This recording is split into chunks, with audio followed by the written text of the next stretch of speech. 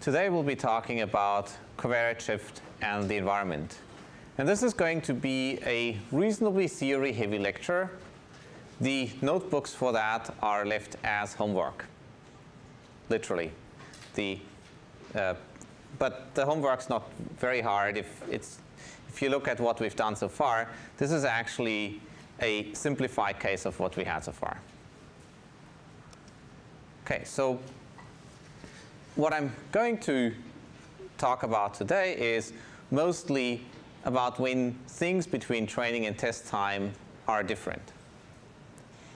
And you've already encountered some of those in terms of generalization performance and overfitting, namely the fact that the empirical distribution lies, right? So the empirical distribution isn't really what you're going to see later on. Think of the empirical distribution as Mu and Alex teaching a class and handing out homework. The true test distribution is, well, the midterm exam, right? And we'll try to keep that deviation as small as possible, but for obvious reasons, uh, you may not always be able to do that. Then you might have covariate shift, which means that the covariate distribution lies. In other words, uh, what I'm seeing at training time looks different from what I'm seeing at test time. That would be the equivalent of Mu and Alex writing the homeworks for you know, the regular time, and then the TA is writing the exam, right? And you could expect that the latter is different then. Then I'll give you some ideas of how to fix this through logistic regression, for instance. And I'll talk about covariate shift correction. And then I'll talk about label shift, which is actually a special case of covariate shift, as it turns out, at least in many cases. And in the end, we'll talk about non-stationary environments. This is sort of the things that we're going through today. Um, it's going to be not that deep in terms of math. I mean, there's going to be some math in it, but it's not going to be that deep. But it's actually important in terms of concepts because it'll address a lot of issues that you will encounter if you're trying to use machine learning in practice later on. I can pretty much guarantee you that you're going to encounter one of those issues. So with that, let's talk about generalization performance. So this is well known, right? So okay, let's say we want to classify cats and dogs, and okay, we build our classifier. Okay, great. Along comes a new dog, and well, okay, that Doberman uh, doesn't do so well here, so we need to adjust our hypothesis. Okay, so now problem solved again until, well, along comes a cat, and the cat doesn't do so well. So you can see where this is going. Basically, just because you're doing well on your training set, you don't really have much of a guarantee that you'll do well on your test set. So now, of course, this isn't just cats and dogs. There's some screenshot from the ResNet paper from 2015 by He et al. And essentially, if you look at the training and test errors. On the left-hand side is the training error, on the right-hand side is the test error. And this is for a 20-layer and a 56-layer deep network. In both cases, training errors tend to be lower than the test errors. Especially for more complex networks and more complicated problems, you're going to see that a lot. You might not see that that much on very simple problems because you're not going to have a lot of overfitting because your model class is quite simple. So if I have a million observations, 100 dimensions in a linear model, well, I'm not going to see much of it. But actually, in that case, you have to ask yourself, why am I just using a linear model?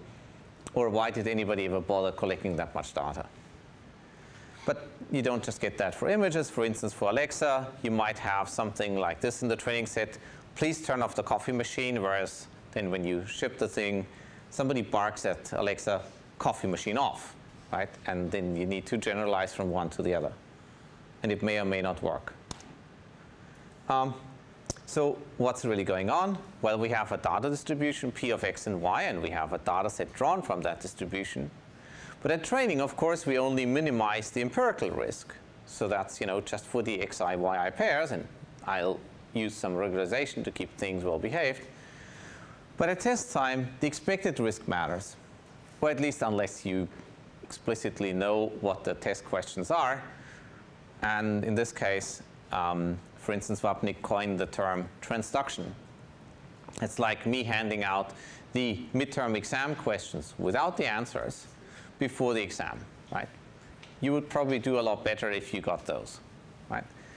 Um, but in general, well, you don't know this, so let's just assume that we actually care about the expected risk.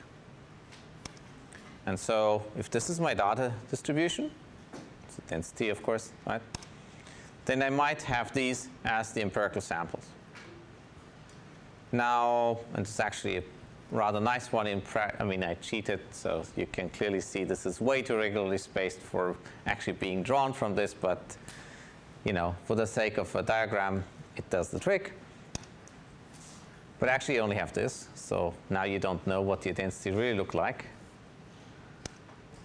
And then, well, how do you fix this? Well, one way to fix it is you hold out a separate validation set and then you can invoke something like a Chernoff bound. Who's heard of a Chernoff bound before? Nice. Okay, half the audience. So those of you who haven't, afterwards go to Wikipedia and look at that entry. But here's really what it does. It tells you that the empirical average doesn't deviate too much from the expectation with high probability. And in this case, if I have a loss, that's bounded between 0 and 1. And so what's important is that these are random variables that are well behaved, so in this case bounded between 0 and 1. Then the empirical average, 1 over m sum over i equals 1 to m, L of f of xi, yi, and so on, doesn't deviate much from the expectation, doesn't deviate by more than epsilon, with probability less equal than e to the minus 2m epsilon squared. So this is pretty awesome, right? I mean, this is a bound which, you know, if I give you twice as much data, you know, it drives that probability down very quickly, right? It gets you the original probability squared, right? So if, let's say, you know, before that it was, you know, 0.1, then if I give you twice as much data, then now I get the probability of 0.01, right? That's a very fast rate of convergence. But there's one very unpleasant part in this equation, namely the epsilon squared. Because that means if I want to get my accuracy, let's say epsilon from 0.1 to 0.01, right? Epsilon, so that's like a tenfold improvement in accuracy. I need a hundredfold increase in the amount of data to do well. So that is something you usually can't do. Nonetheless, in machine learning, usually by now on large data sets, we have actually data sets for, uh, you know, for the validation set that are kind of largish, right? So you might have easily 10,000 observations. So m being 10,000 means you can probably pick an epsilon that's like, you know, 10 to the minus 2, maybe 10 to the minus 3, and you'll still get something okay-ish out of it. Turns out you can actually get much tighter bounds if that loss is well behaved, for instance, if you're mostly doing well, then rather than a Chernoff bound, you might want to use something like a Bernstein inequality. There's a lot of really good work. Take one of Peter Bartlett's classes if you're interested in that, or Martin Wainwright's classes. Um, there's a lot of concentration of measure uh, classes. That's probably a little bit graduate level. And you can have a lot of fun with this.